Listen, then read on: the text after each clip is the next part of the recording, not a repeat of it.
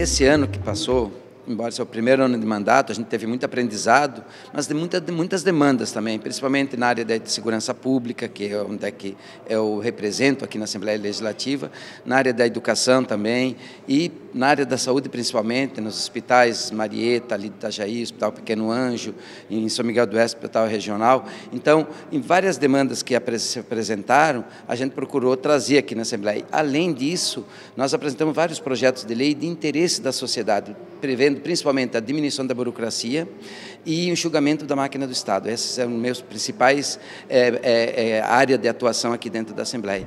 Aprovamos projetos como a reforma administrativa e projetos importantes na área da agricultura, no sentido de proteger né, a nossa produção, proteger o nosso agricultor né, de, de diversas demandas, principalmente na área tributária, na área da saúde, uma emenda nossa na LDO que garantiu mais de 190 milhões de reais para os hospitais filantrópicos de Santa Catarina, através dessa emenda, chamou a atenção do governo para a importância de ter uma parceria efetiva com o sistema filantrópico estadual. Nós podemos trazer aqui o setor produtivo da agropecuária, da indústria, para debater com o governo e com os deputados uma, uma política fiscal que seja justa e que permita a competitividade do nosso Estado.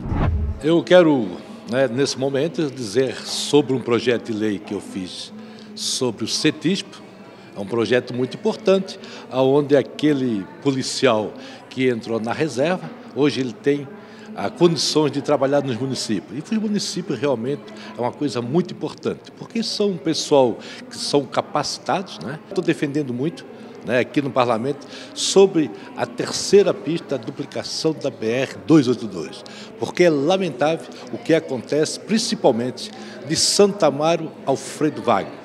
Ali acontece todo dia um acidente, uma vítima fatal.